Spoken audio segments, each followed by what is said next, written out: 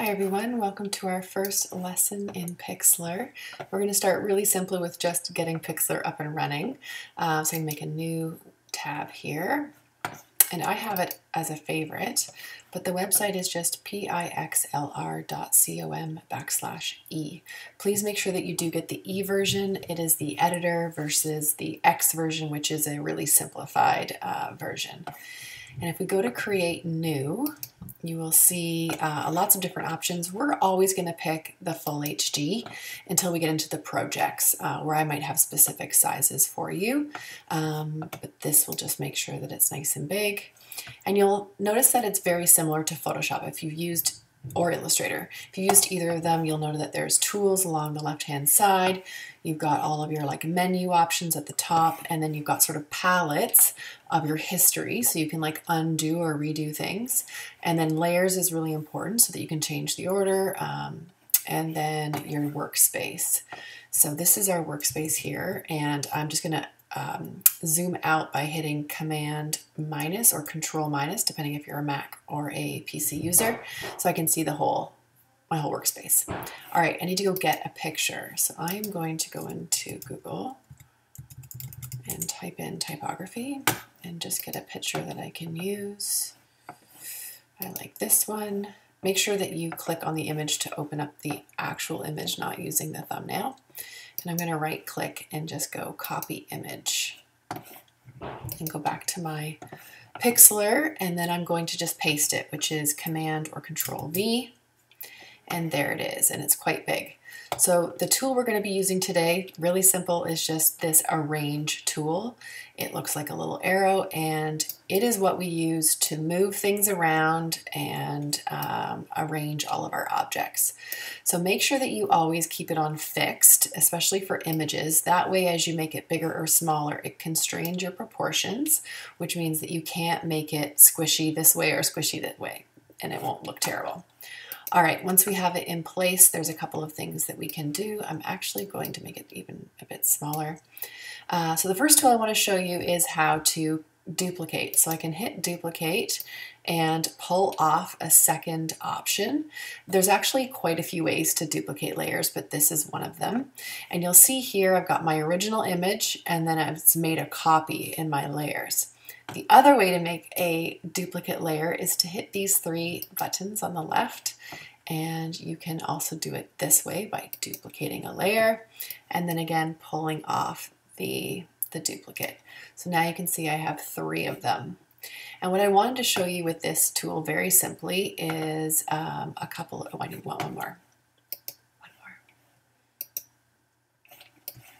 more. Okay, so this one's going to be my, this was my original. So I'm going to come in here and I'm actually going to rename my file by just clicking on those dots and I'm going to leave the dot .png so I'm going to say this is the OG and I like to name my layers so that I can really keep track of stuff. And then this is my next one.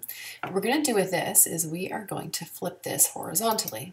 So you'll see that when I flip it horizontally it sort of creates that uh, that flip. So I'm going to just really quickly change this to horizon. Oops. And then this one, my third one, I'm going to do this, the flip vertical. And you can see that it basically makes a reflection this way. So I'm going to come in here and rename this vertical. And then my last one, um, what I want to do is I just want to rotate it. And you can obviously spin it all the way around, uh, but this is how you would rotate an image. So I'm going to come in here and rename this one rotate.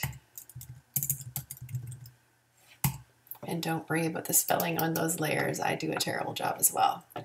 So for all intensive purposes, this is basically what you need to know for some basic layers, how to rename them, how to duplicate.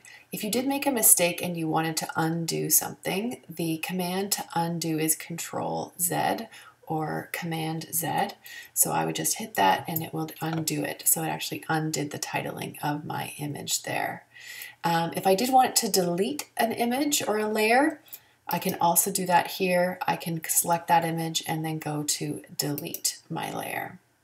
And if I've changed my mind, I can undo it by hitting Control Z or Command Z. All right. If you would like to rotate your work other than on these 90 degree angles, there is a free rotate.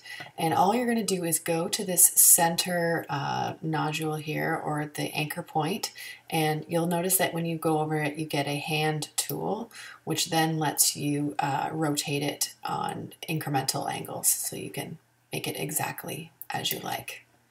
So that is more of a free rotate happy with that and you're done, the uh, the rot rotating and the reflecting, uh, all I'm going to ask you to do is to save it. So you're going to go File, Save. And the two types of versions we're going to be looking at are the PXD format. Um, this is Pixlr format, so it will only open in Pixlr. But what's great is you can continue to edit a file as long as you save it as this. Um, I can also mark this because I can see your layers. So you're always going to save it as a PXD file. So this is lesson one or tutorial one, and this is arrange tools. And you are then going to download it, and it will download to your computer and then you can submit it to the D2L for marking. And I would always just make sure before you close it that it's actually saved. So go to my downloads and there I can see that it is coming through. All right.